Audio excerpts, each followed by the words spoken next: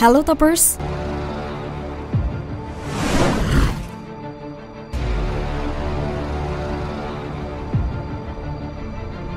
Novel tenggelamnya kapal Van der Wijk karya Buya Hamka jelas merupakan cerita fiksi.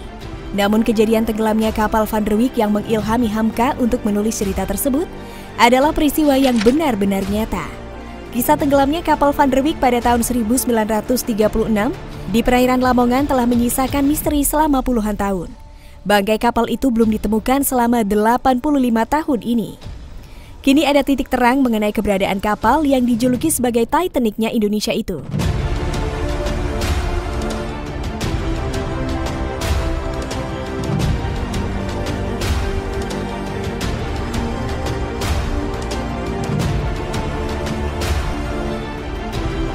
Tim arkeolog dari Badan Pelestarian Cagar Budaya Jawa Timur atau BPCB Jatim baru-baru ini mengabarkan telah menemukan sebuah bangkai kapal yang diduga kuat sebagai kapal Van der Wijk. Mereka meyakini berdasarkan ciri-cirinya, bangkai kapal tersebut adalah kapal Van der Wijk. Selain itu, bangkai kapal tersebut juga ditemukan di lokasi tenggelamnya kapal Van der Wijk, yakni di Laut Brondong, Kabupaten Lamongan, Jawa Timur.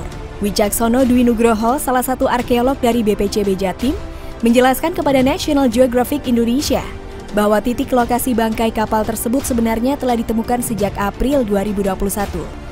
Namun tim baru bisa melihat jelas kondisi bangkai kapal tersebut pada Oktober ini ketika arus di Laut Brondong tenang.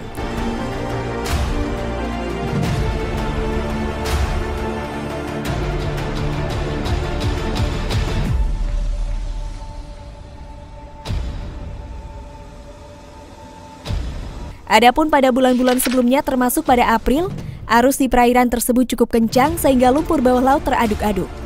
Lumpur dasar laut yang teraduk-aduk ini membuat air sangat keruh sehingga sulit bagi para nelayan dan arkeolog bawah air untuk melihat bangkai kapal tersebut.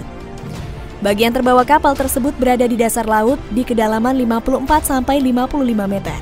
Bagian teratas kapal ada di kedalaman 34 sampai 36 meter. Dari selisih kedalaman ini dapat diperkirakan secara kasar bahwa lebar bangkai kapal tersebut adalah sekitar 18 meter.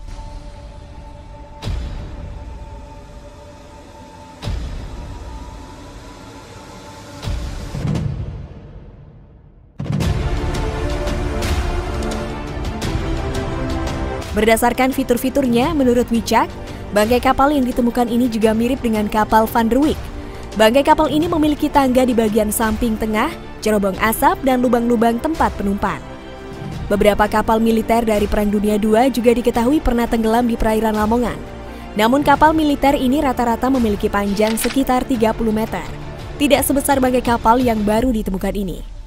Selain itu, fitur bangkai kapal ini juga tidak seperti kapal militer yang biasanya tidak menyediakan ruangan-ruangan untuk penumpang umum.